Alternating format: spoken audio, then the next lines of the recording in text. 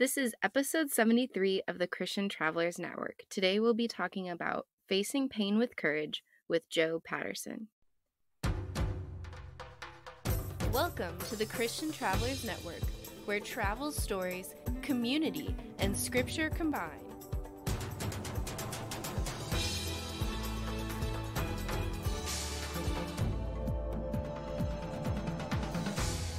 Hey, Christian travelers, I am so glad that you are here. We have an awesome guest, Joe Patterson, who's going to be talking about some kind of crazy travel stories and some almost near death experiences uh, that he has experienced in his travels. But before we dive into that, I want to once again point you to our website, ChristianTravelers.net.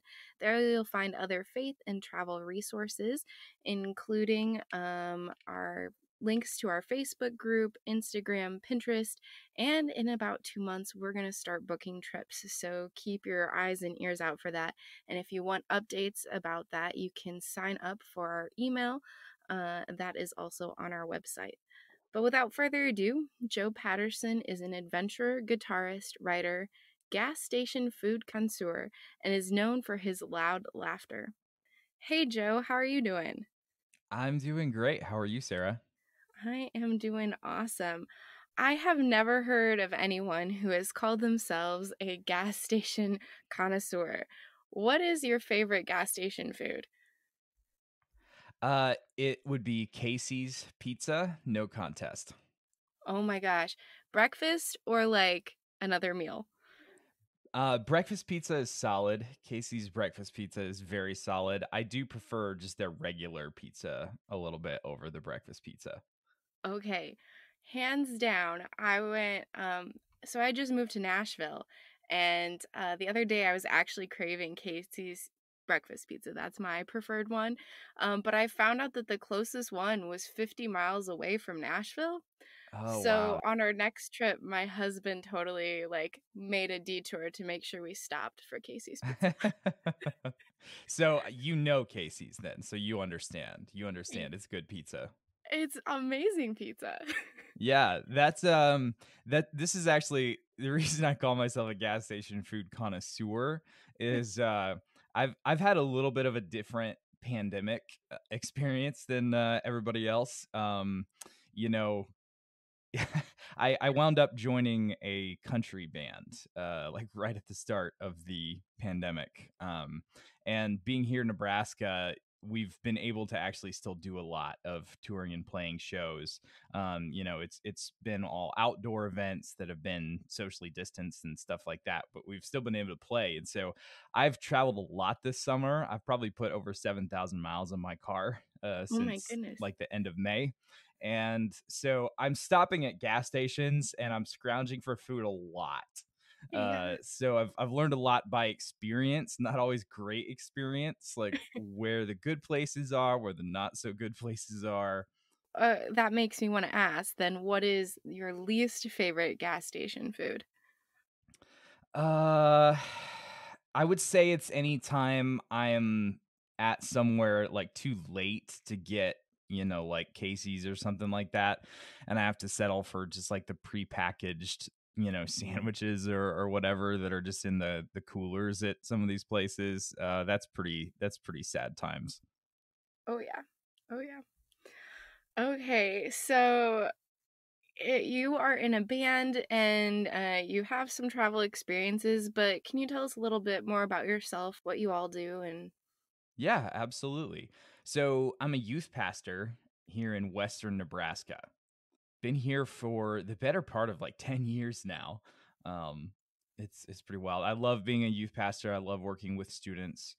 Uh, I'm a seven on the Enneagram, uh, if you're at all into that, which basically just means that my personality type, I love to have fun and I have a lot of different interests. hmm Uh, so, like I said, I currently play lead guitar for a high profile country artist named Luke Mills, based here in Nebraska. Uh, I produce another podcast called Parks and Rewatch with my co host Joy. That's a, a weekly podcast. It's a lot of fun. Uh, I do love to travel. I've gone on backpacking trips and road trips all over the US. Most of these trips have been solo trips, uh, just me by myself or me and my German Shepherd Griffin. So I've learned a lot about both myself and the art of traveling alone to unfamiliar places while on these trips. That's awesome. And you have actually written a book about one of your experiences with Griffin. Yeah. Yeah. It's called The Legend of Griffin. It's available on Amazon as a Kindle version, a paperback version, and actually an Audible version that I narrated myself. That's very impressive. In your book, you talk a lot about courage and kind of facing your fears. Can you tell us a little bit about how you define courage? Absolutely. Um, you know, there's a lot out there, and it might sound a little cliched, but I think the Theodore Roosevelt quote sums it up pretty well for me when he says, Courage is not about having the strength to go on, it is going on when you don't have the strength. There's a level of understanding there that I think is pretty profound. I think everyone has the strength to be brave, but most people hit they tend to hit this threshold of fear or discomfort and stop there. And to me, courage is everything that happens on the other side of that threshold. Last week, we had a, a, podcast guest talk about like the bridge of the faithful. It's one thing to know that Christ died for us, but it's another thing to step out in faith. And that kind of sounds a lot like your analogy for courage. It's that stepping out and what happens past that point. Was that Jenna? Yes. Yeah, I know Jenna. She's good people.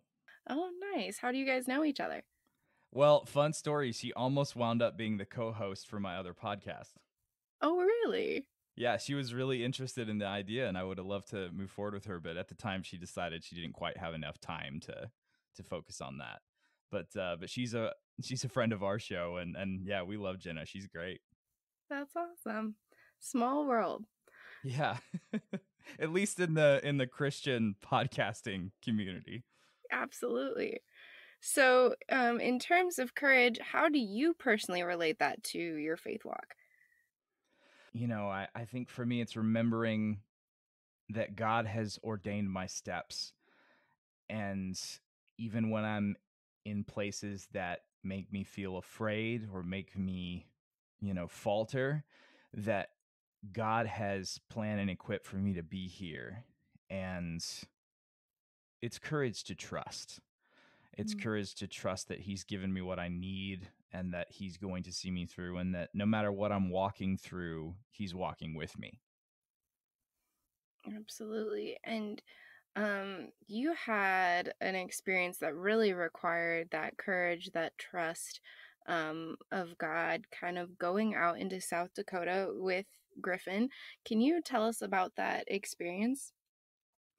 Yeah, so it's it's a pretty far-reaching experience, I think, as far as you know what led to this and and everything. So just to kind of set the stage, I, I, grew up as a pastor's son in Northeast Colorado. I'm one of four kids.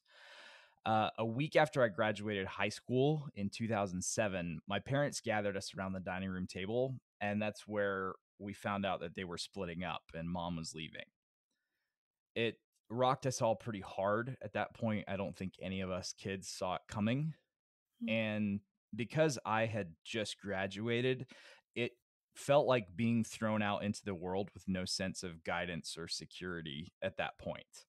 Hmm. I I felt like I kind of had to figure it all out for myself without my family to help me because now all of us are just doing our best to keep our heads above water. Where do you uh, fall in the family? Were you the youngest or kind of in between? I'm the second oldest. My sister's older than me, and I have two younger brothers. So there were still some at home trying to figure things out there too. Yeah, I think one brother was maybe 16 at the time, and one was closer to 12 or 13. So I wound up not going to college that fall. I just stayed around that area and worked a few different jobs. It was not a good year for me. Hmm. Uh, I was spiraling. I was angry. I was pretty bitter. Uh, and that bitterness kind of, you know, it bounced around, I think, from focal point to focal point, but ultimately settled on God. Um, you know, I, I honestly just felt like God had had sort of brought my family to this point and then just dropped us off a cliff. And uh and so it was a bad year. I I was bitter, I was depressed. Um and then thankfully the next year God got through to me in some pretty big ways and he actually provided for me to go to Bible college in Wyoming. So at that point, uh the next 4 years were kind of a whirlwind. I was going through school. I met my wife while counseling at a summer camp in Texas my senior year. Nice. And we got married the summer after that. so it, it was it was kind of funny. I avoided the whole, you know, ring by spring Bible college thing. I didn't meet my wife at Bible college, but I did meet her at a Christian summer camp. nice. so loophole kind of i don't know Yeah, yeah. uh and so we got married uh, the following summer in 2011 and at the same time i had started an internship at a church in western nebraska so after we got married we moved up here and after my internship finished i got hired on as the full-time youth pastor in 2012 Hmm. so after essentially four years of living life at this blistering pace, um, you know, it was just like pedal to the floor, go, go, go, getting all this stuff figured out. After that, things kind of settled down a little. And what started to float to the surface was the pain and the unanswered questions of what happened with my parents. And I started to get this sense that, you know, if I don't deal with this, like the pain and, and, these things that I want to know that I keep coming back to, I started to get the sense it was going to define my future. And I Mhm. didn't want that to happen, but I also didn't know where to start. Yeah. And so I just kind of lived in that for that summer and and into that fall. Were there fears of it um, impacting like your marriage? I think to a degree there was. Um, you know, I think at that point I understood enough that, you know, I'm not my parents, I'm not my dad, I'm not my mom. Mhm. Um, but of course there are questions, you know. My parents were married for 25 years before they split up. And, you know, my dad's a pastor, grew up in a Christian home. Um, you know, of course there were questions and and I think for me it was just wanting to know, you know, like like where did it get wrong? You know, where did it go wrong? Could it have been fixed somehow? You know, I, I don't know. Yeah. Um, yeah, there were definitely questions. So sometime that fall, I I don't even remember who it was, but almost off the cuff, some old family friend mentions to me in passing about this old cabin in the Black Hills of South Dakota. It had been built right in the heart of the Black Hills, like only a few miles from Black Elk Peak, uh, very close to Sylvan Lake.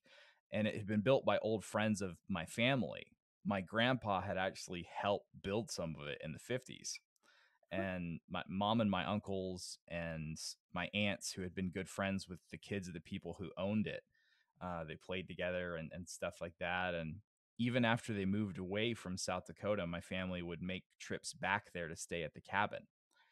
And i i had known that i think and on one of our family trips to south dakota we used to go on these camping trips like with the whole family with grandpa and grandma and aunts and uncles and cousins. Oh, uh, I think they had taken us there, and I had been there when I was very young, but it was so long ago, and, and so much had happened. I mean, it was almost buried in my subconscious. I, I barely remembered it.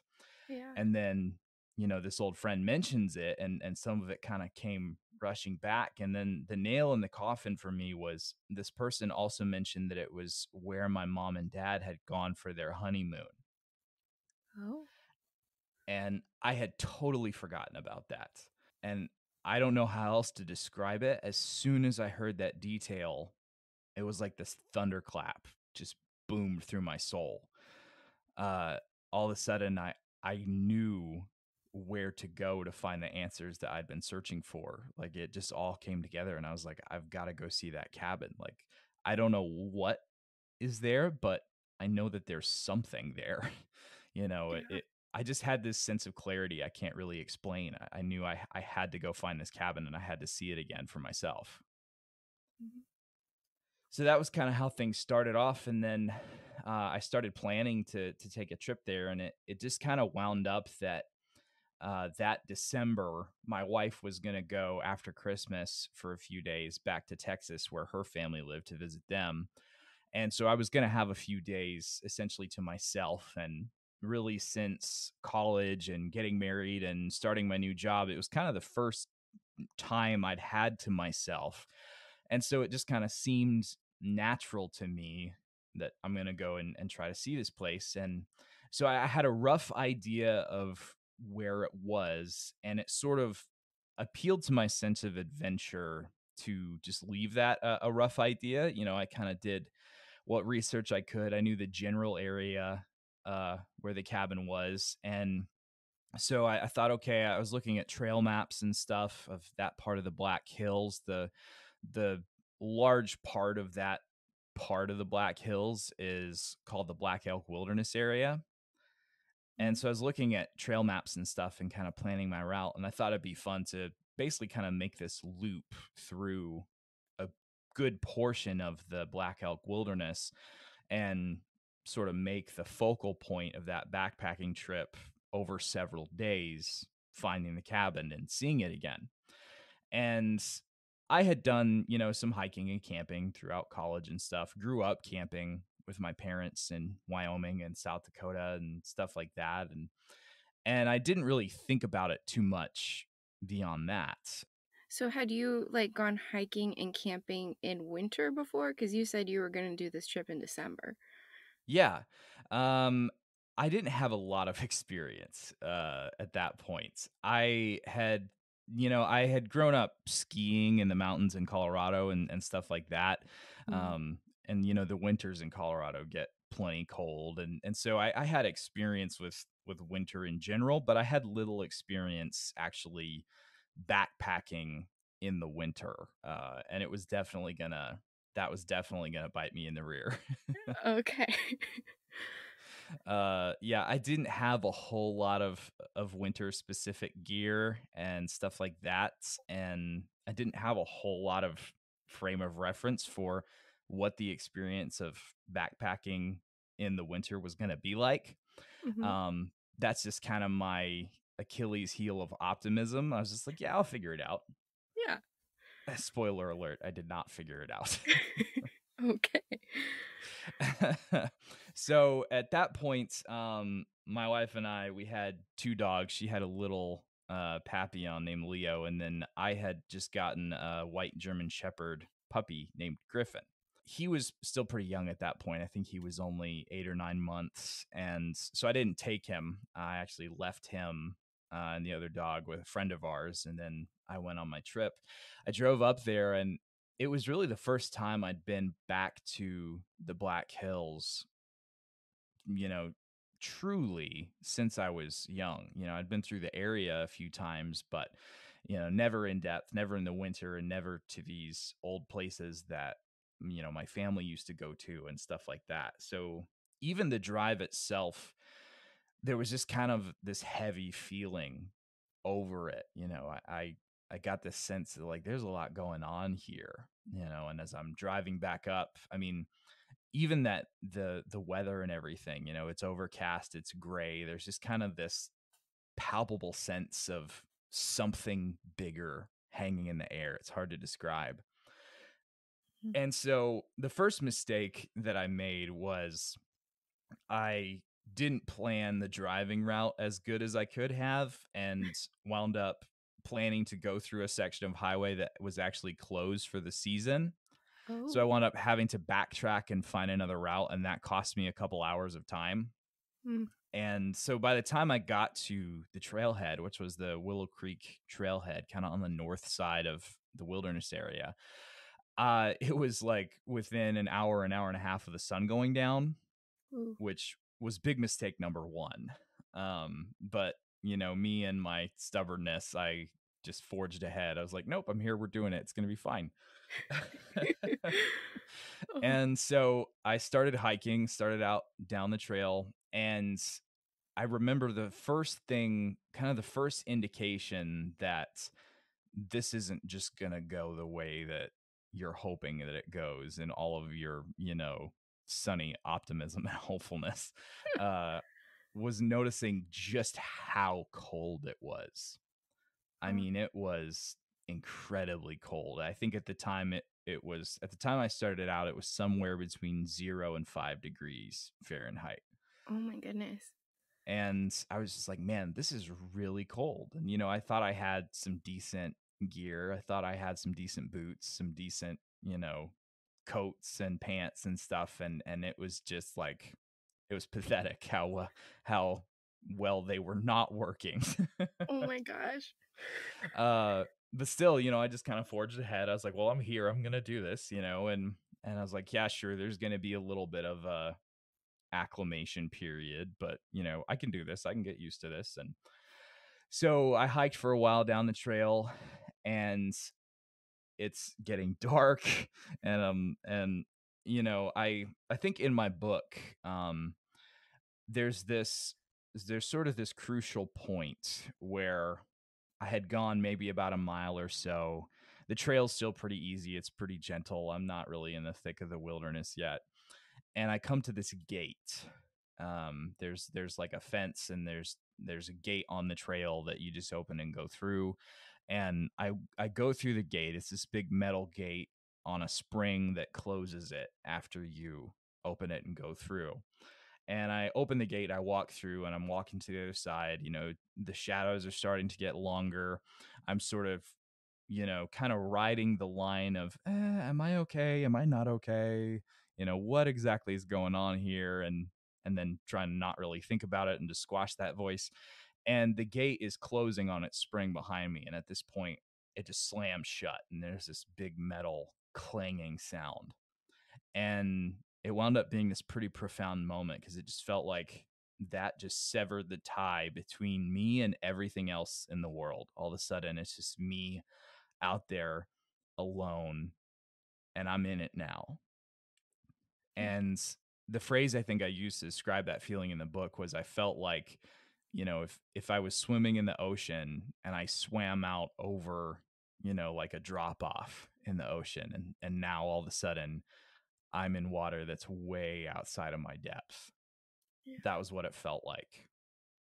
Whoa. And I kind of stood there for a second. What I really had to start wrestling with is like, I'm scared. Like, I, I am afraid now. I am out here. I am by myself. It is the winter. This is wild country. Like, this is real wilderness. I'm scared and at that point i, I kind of just basically tried to like slap some sense into myself it's like okay this is ridiculous just keep going and i was like i was shaken up and i was like okay well i got a late start let me just find a spot to make camp so i hiked a little further went off the trail right as the sun is going down found kind of a spot on a low ridge that i felt would be a decent spot to make camp and i start going about getting my tent set up and stuff and and it was so cold. I mean, it was so cold. You know, now that I'm not moving with my pack on anymore, and then there were a few parts setting the tent up that I had to take my gloves off for uh, Mhm. to use my fingers. And just in that short span of time, my hands just went white and completely numb from the mm. cold. And at that point, you know, I'm just kind of doing busy work, getting the camp set up, getting a little something to eat. And I'm thinking to myself, you know, just get this done, get this done, get this done. I finally got everything done. The sun goes down and I get into my tent and I get into my sleeping bag. And that was kind of the next big mistake is I did not have a great sleeping bag at all. Uh, I think it's rated to like 30 degrees and it's already at least 30 degrees colder than that. Uh, and so I get in and I'm like, oh man, I'm cold. uh, and so I kind of just tried to, I, I, you know, I'm wearing like all the extra fleece and socks and stuff that I, I possibly can. And I'm laying there shivering in my sleeping bag and it's cold. And, and then the next thing that happened is just like the quiet just swallows me. Uh, all of a sudden it's like I'm trying to calm down and and go to sleep and it's just like my brain gets this shot of adrenaline or something and all of a sudden I can hear everything. You know, I can hear the breeze going through the pine trees. I can hear these soft snowflakes hitting the tent fabric. Uh, you know, I can hear twigs snapping in the distance and stuff. And it was just like, oh, okay, wow. Uh, and I I tried to fall asleep, and I, I did fall asleep for a little bit somehow, not sure how. Uh, and then I, I wake up, and it was like I woke up afraid. Like I woke up with just this current of terror coursing through my veins. I didn't even know why. And I'm kind of freaking out.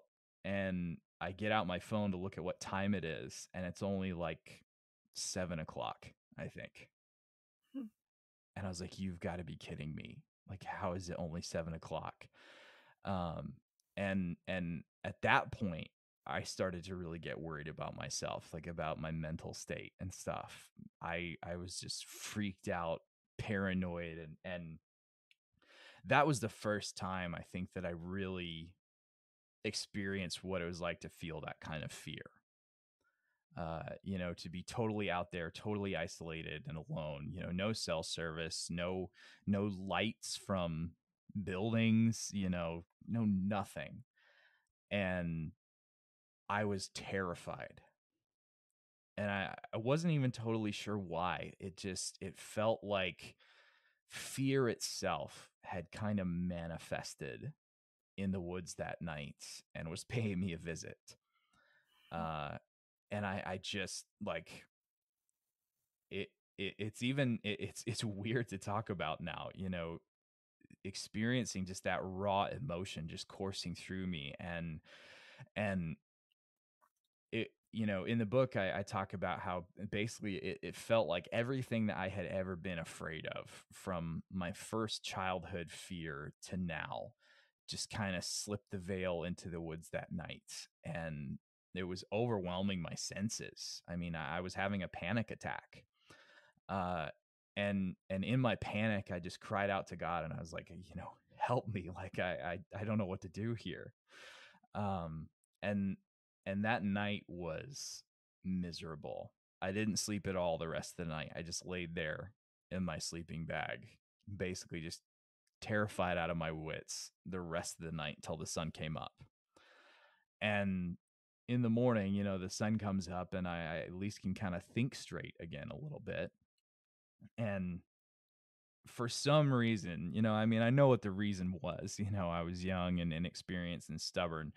But for some reason, I didn't take that as, you know, an example of, okay, we need to call this thing off you know we need to reevaluate um i i didn't do that you know i, I basically just kind of shoved the fear from the previous night down and was like nope i'm still doing this like i'm still out here uh it was so cold it was so cold that morning uh i remember i had like a little you know jet boil stove and i made some ramen and i took the the first sip of the ramen it was like this heat wave that i could feel going all the way down to my toes Oh That's how cold it was. And so I just forged ahead. I got back on the trail, kept hiking and and it wasn't too much further after that that then I really got into the wilderness and the trail started to get really difficult. It started to get steep. I'm climbing in altitude. There's snow on the ground, so I can't see what the terrain is like underneath my feet. And, you know, I mean, at best you've got uneven trail that has steps up and steps down you got you know sharp angled rocks in places and then it got even worse i started to encounter basically that the black hills had a problem for a few years it was really bad with pine beetles and so there were beetle killed trees everywhere and a bunch of them had fallen down all over the place and made these massive deadfalls all over and and you know some of them would just be you know three to four tree you know tree trunks that have fallen over the trail that you got to duck under or over or go around but some of them would be just these massive piles of logs that just obliterated the trail for like 50 feet on either side Whoa. And so trying to navigate through those in the snow, um, it was really slow going. It was really tough. And the the ground as soon as you got off the trail i mean it was bad enough on the trail with the snow and everything but as soon as you got off the trail you couldn't see because of the snow what you were stepping on. You might be stepping on the ground or you might be stepping on a thin branch that was part of the deadfall and your foot was going to go through. And it kind of became this self-fulfilling prophecy where i started to think like i'm going to step through and I'm going to roll my ankle on one of these things. And not very long after that, I did. Uh, I stepped on, you know, what I thought was ground and it wasn't. And, uh, you know, a branch snapped under my foot and went down further, like six more inches, and I rolled my left ankle. Were you able to walk on it after that, or was it pretty bad? It was pretty bad. I was able to limp a little bit, but I had rolled that ankle pretty bad a few times before. Mm. And so I had kind of been afraid of that happening the whole time. And then this was just kind of that confirmation. It was like, are you serious? Now yeah. I'm dealing with this too. and so I rolled my ankle, and there's sort of that initial, you know, just pain and, and kind of trying to take stock of the situation. That was kind of the last straw, I guess. Um, you know, it, it wasn't super bad. I could put weight on it, but at that point it was pretty hard to it was pretty hard to rationalize continuing on at that point. Mm-hmm. Uh, and so I, I, you know, I, I kind of sat on a, a log for a second, just kind of trying to recover, I guess, a little bit. And, and I, it really, it was hard because this is like, I don't want to quit this. And then my brain instantly goes like, "Yeah, you do." um, and in the book, I, I I talk about it like it was a wilderness holding up a mirror, and me being unable to look away. And all of a sudden, I had to confront who I really was, not who I, you know, not who I thought I was or not who I wanted to be um, all of a sudden all of my shortcomings, my lack of preparedness, and and really just how not tough in any sense of the word I really was. I had to look all that stuff in the face right then and there. And it made me really uncomfortable. And ultimately I, I did decide to turn around and, and stop and go back. Um, and so I, I limped like the three, four miles back to my car and drove home. And for the first you know i mean I, I got home and i'm just kind of you know like everything is normal like yeah that wasn't great um but you know it's normal. And there's kind of this you know comforting blanket that comes back over you when you get home of like you know here's all my convenience and my technology and my distractions um and so for a while you know it was just like okay you know it's back to normal and then that night around the house, I just started to notice things that were different. Like it was like, I've never noticed all these shadows in here before. Like it's still daylight outside, but it's dark.